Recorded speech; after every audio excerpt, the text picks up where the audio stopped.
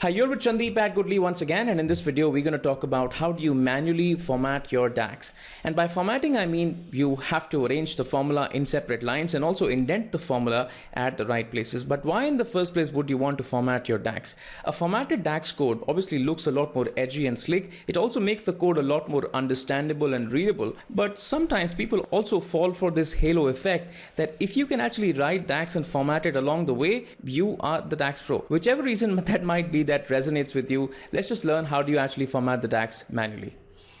All right, the first rule is rule of one single row. So whenever you're trying to write a DAX formula and the formula is just going to have a single input, you're going to write that in a single row. So take a look at this sum function that I'm trying to create for a measure total units. And the sum function is just going to ask me one single input, which column are you trying to sum? So I'm just mentioning the name of the column and that's the only input that the sum function is going to ask me. Since it just asks me for a single input, I write that in the single row and close the bracket over there. Simple enough. All right, moving on. Now, obviously obviously you would not end up writing each and every DAX measure that is just one row. You would end up writing DAX measure that span across multiple rows. How do you actually format those? So I'm trying to create another measure called sales amount, and this is definitely going to be more than one row, which is where I'm going to use the sumx function. Let's just take a look. So for the first thing that I end up doing is writing the sumx function in a row of its own. So I start with sumx and I give it a separate row. Now, since the sumx function is asking me for two separate inputs, it's asking me for the name of the table and the expression that has to be calculated in every single single row. I will provide these two inputs, but in a separate row of their own. So I will use the shortcut shift enter to move to the next row. Some people also use alt enter, but alt enter actually moves you to the start of the row. It doesn't really come indented. So I obviously use shift enter. So I move to the new row and then I write my name of the table and I write my expression, which is multiply the units with the quantity. Now, once I have written the two parts of the formula, it's time to actually close the bracket. Now, whenever you have more than one input inside of the formula, you can see that we had two inputs. I close the bracket in a separate row once again. So I will move to the next row and there I will close the bracket.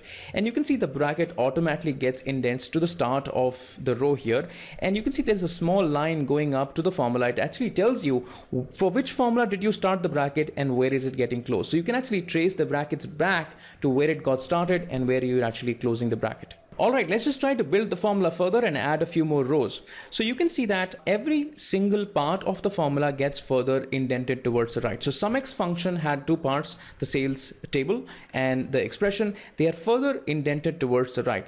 Let's just say this time I'm trying to find total sales, but only for the product color equals to black. Now let's just start to write the calculate function and I'm just going to follow the same rules that I've actually followed until now. So I start writing calculate. In the calculate function, I'm going to have two parts. The first part of the calculate is going to be sumx and every single part of the formula should have a row of its own. Hence the sumx function comes into a separate row. Now the sumx function also has two parts and these parts should actually indent further towards the right hand side because they actually belong to the sumx function. So I will actually select the fourth row, fifth row and the sixth row and I will use the shortcut control square bracket, square close bracket to further indent them towards the right. You can also use control and open square bracket to indent them towards the left hand side but if you want to indent them towards the right hand side control close square bracket and they actually move towards the right hand side now I can write the second part of the calculate function which is where I will write my filter or my condition which is where I'll say hey the product color should be equals to black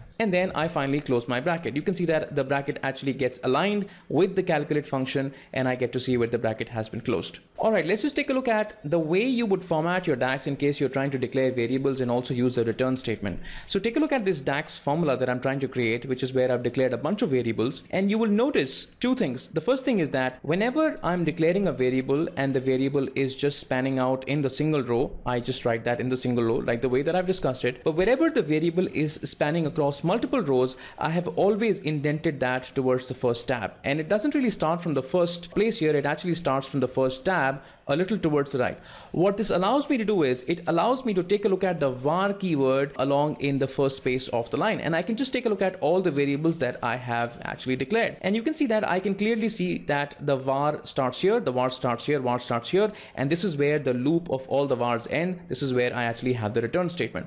The second thing that you will actually notice is that every single variable that I have declared actually starts with a unique keyword called var. It, it has a prefix var and underscore underscore. You can try to have any particular random prefix that you can have. What this will allow you to do is, let's just say that everywhere I have used the var and the underscore keyword. Now, let's just say that I select all of these lines here and close them or comment them. And then whenever I'm trying to use any particular variable, what I will do is I will write the var keyword and underscore, and I will have the collection of all the variables that I have declared. Now, you're going to get this only if you actually prefixed your variables with a particular type of a keyword. All right, these were a few set of rules that I personally follow when I'm trying to write DAX and format my DAX along the way. Now, these rules aren't really sacrosanct, and if you wish, you can add a few rules of your own. You can also edit a few rules that I've given to you.